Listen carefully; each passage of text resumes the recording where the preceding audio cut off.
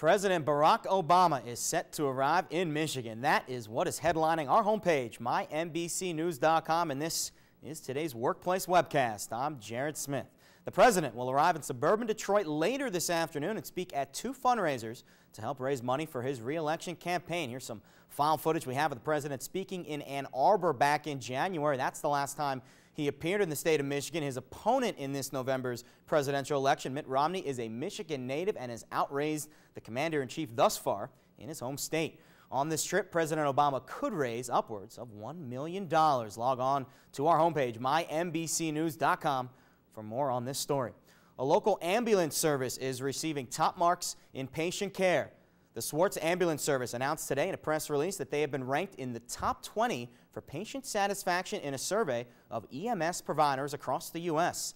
The EMS survey team is a nationally recognized and benchmark patient satisfaction survey program developed specifically for the EMS community. Established in 1975, the Swartz Ambulance Service is one of the largest locally owned and operated ambulance services in Genesee County.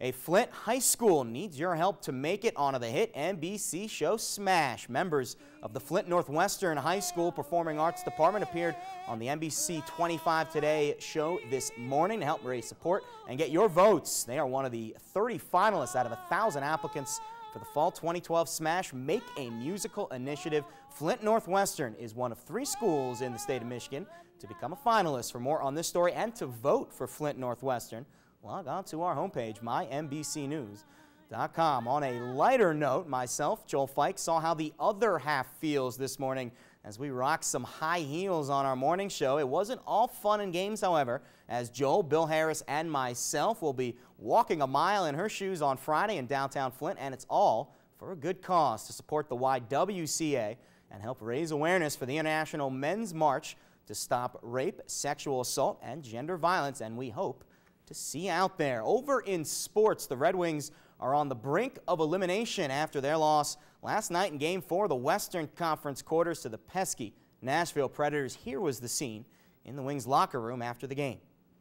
It's definitely disappointing, but uh, you know they still have to win more, one more game. Um, I'm not the type of person to uh, you know just roll over. Uh, you know I'm going to give it whatever it takes. You know, you know next game, and then we just got to try and win one right now. No, we, we couldn't capitalize on the chances. We had a lot of chances that we, we didn't score on, and you know we finally got one on the power play, but you know we needed another goal and we couldn't get it. I think we hit the post there late in the game.